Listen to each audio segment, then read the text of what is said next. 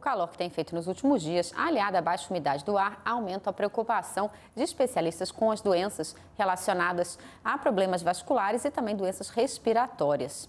Atenção especial por causa dessa elevação da concentração de poluentes no ar com esse tempo mais seco. Para a gente compreender melhor os prejuízos que isso traz para a saúde, a gente vai conversar agora com o Dr. Abraão Kurik, ele que é cardiologista e clínico geral do HCOR, ele já está aqui. Muito boa tarde, seja bem-vindo aqui ao TJ Aparecida. Boa tarde, Letícia. É um prazer estar com vocês e os seus ouvintes. Queria que o senhor explicasse para a gente por que, que é, esse tempo mais quente pode é, piorar quem já sofre com problemas do coração. Veja, é importante primeiro que nós ressaltemos que há uma expectativa de um calor excessivo nos próximos dias.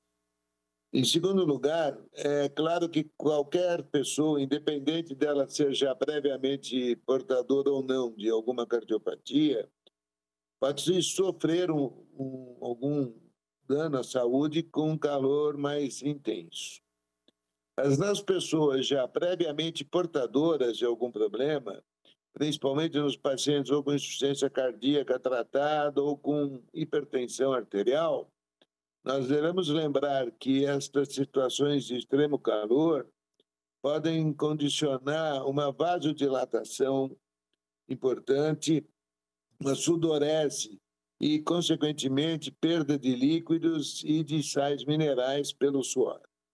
Então, é muito importante que as pessoas que já forem portadoras de algum problema cardíaco ah, entrem em contato com o seu médico para poder ver da necessidade de algum ajuste na medicação de que fazem uso.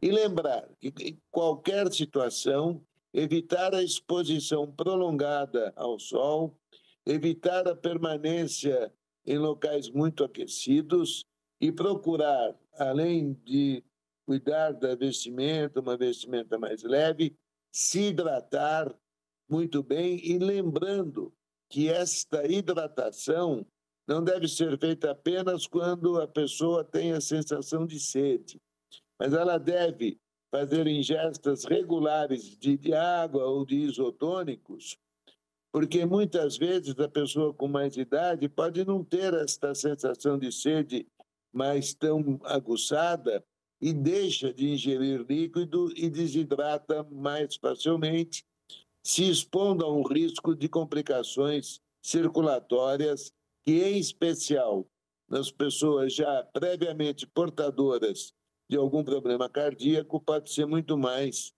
importante.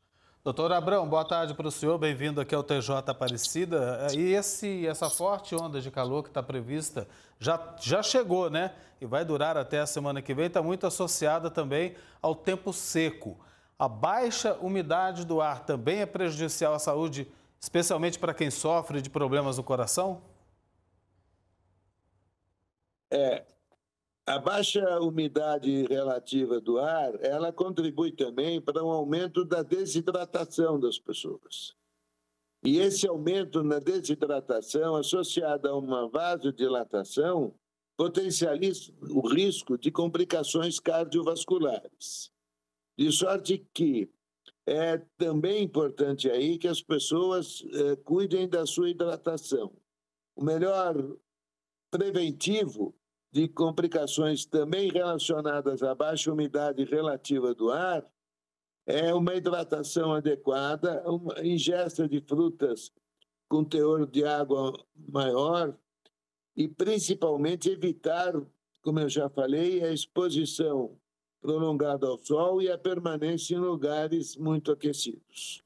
E, doutor, tem algum indício que as pessoas podem, algum sintoma que as pessoas podem sentir que isso já pode ser algum indício de que ela está tendo algum problema com esse calor excessivo?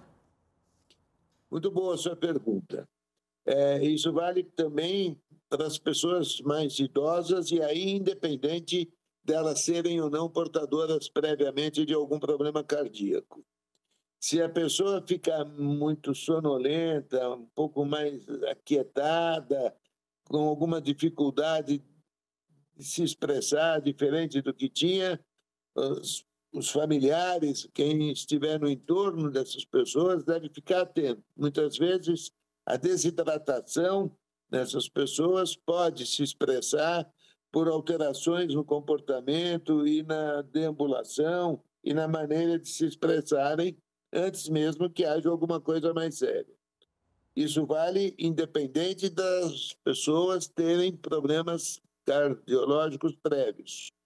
As crianças, principalmente as crianças menores e os adultos mais idosos, são potencialmente as principais vítimas desse aquecimento que nós estamos é, sofrendo e, portanto, merecem a atenção de quem estiver no seu entorno.